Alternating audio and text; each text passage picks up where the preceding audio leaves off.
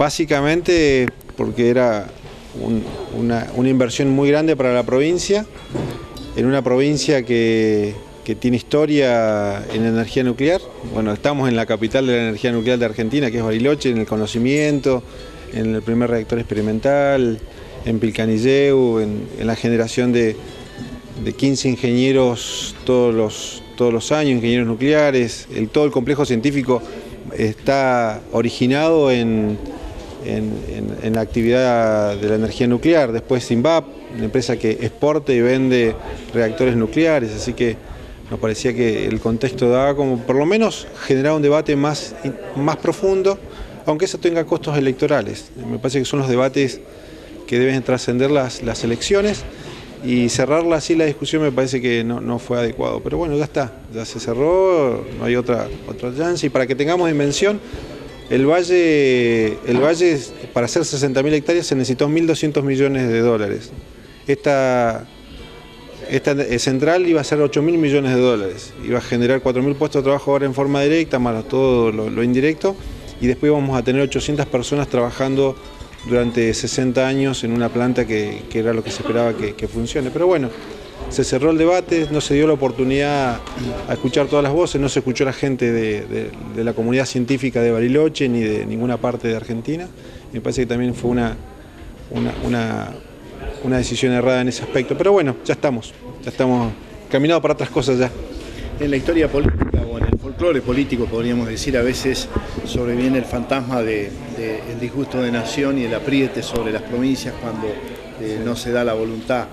Eh, casi unitaria, ¿no? En un país que pregonamos federal. ¿Puede pasar algo de esto? No, no, no. A ver, yo me hago cargo de las cosas que digo y también de las que se interpretan. Eh, por ahí decir consecuencia tuvo ese, significado, digo, pero yo me, refería a consecuencias de cuando uno toma decisiones de políticas públicas o como uno toma la vida. Eh, y ya paso, paso seguido vamos a salir a, a licitar bonos para el Plan Castelo cuánto nos van a costar los bonos por no haber cumplido un compromiso internacional. Digo, porque el, que va a comprar los bonos mira cómo, cómo actuamos nosotros como, como provincia con respecto a los compromisos asumidos. Entonces, eh, ¿qué va a pasar para adentro? ¿Va a seguir Plan Castelo? ¿No va a seguir? Bueno, todas esas cosas generan esas dudas y a eso me refería. Después, eh, nuestro gobierno por, el presidente, por el, marco ético que tenemos, porque creemos que nosotros no podemos eh, usar el Estado para apriete, no debe ser así.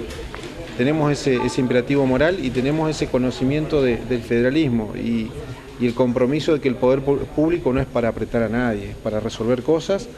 Es un, poder que te ayuda para servir y resolver cosas que la, que la sociedad necesita. Eh, yo no lo permitiría y no lo voy a permitir. Así que nosotros vamos a seguir trabajando para Río Negro, es una de las provincias que más inversión ha recibido en, proporción poblacional, Bariloche lo está demostrando, ayer se, siguió con la, con la licitación de dos obras, la adjudicación de dos obras para la continuidad de los planes Ex Promueva y ahora que se llaman Hábitat, así que bueno, estamos demostrando que a veces eh, lo, que, lo que importa a la gente es el hacer más que el decir, y acá parece que lo vamos a ir demostrando. Eh, ahora el, programa de empleo que vamos a tener, que es el empalme, también demuestra que, vamos a seguir estando presentes más allá de, de, los calores de la campaña y de los calores que, suceden en estos momentos de, las, de la política argentina. ¿Es llamativo la decisión que tomó el gobernador tras dar marcha atrás con la planta nuclear?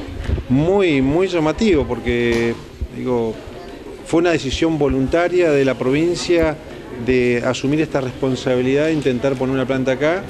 Eh, participó activamente para que eh, se conociera el proyecto, participó y fue, quiso ir a, China con el presidente.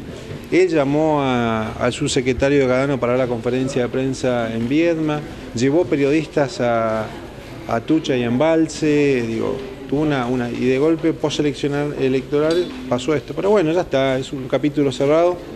Lamentamos que esta, esta inversión científica, energética, en un país que necesita generar su propia energía, perdimos la soberanía energética, estamos gastando casi 6.000 a 10.000 millones de dólares por año importando energía argentina. Esto es parte de resolver también el problema de matriz energética, así que vamos, vamos ahora a intentar ir resolviendo otras cosas, ya esto es un capítulo que, el gobierno de la provincia eh, junto con la legislatura lo han cerrado, así que es un tema ya indiscutible. Wiki piensa que el gobernador se aleja cada vez más del gobierno nacional porque va a participar de hecho de la reunión de los gobernadores peronistas. Sí, puede ser, pero a ver, está peleando por algo que él considera que es para la provincia adecuado, así que nosotros en eso no vamos a, opinar de sus decisiones políticas, vamos a opinar de lo que sirva para, para la provincia de Río Negro, así que vamos a seguir trabajando para que Río Negro, como representante rionegrino, le vaya cada vez mejor.